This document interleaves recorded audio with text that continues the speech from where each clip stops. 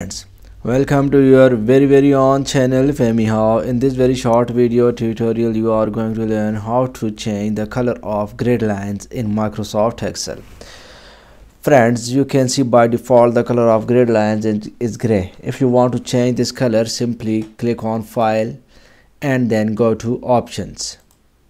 Options and then click on advanced. After that simply search for display options for this worksheet. And you will see here the option grid line color.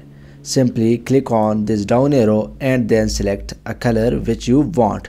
For example I want dark brown color. Then simply click OK.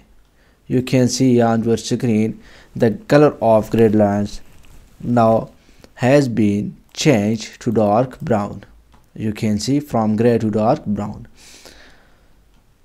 so friends, that's a very easy and simple way to change the color of grid lines in Microsoft Excel. If my video helps you in any way, please subscribe my channel and hit the like button. Thanks for watching. Thanks for your time. Take care. Goodbye.